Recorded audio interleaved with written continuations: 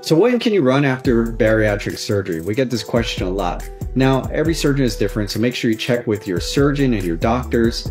But we like to encourage brisk walking, especially immediately after surgery. But at about four to six weeks, you can start to test your body and start to run.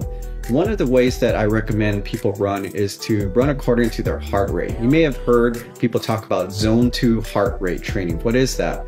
Well, you can go online. The American Heart Association is one good resource, but there are many resources where you can calculate per your age your maximum heart rate. And zone 2 is about 60 to 70% of your maximum heart rate. Now again, make sure you check with your doctor because people have heart disease or other medical problems may need to make an adjustment to that. However, if you maintain that 60 to 70% heart rate during your exercise, it could be running, biking, elliptical, swimming, circuit training, you want to do about 80% on average of your workouts during that time. It builds endurance and it trains your body on how to optimally use oxygen that you breathe into your lungs, use that energy sufficiently, and also to burn fat. So that is what zone two heart rate training is, and that's what we recommend for our patients after bariatric surgery.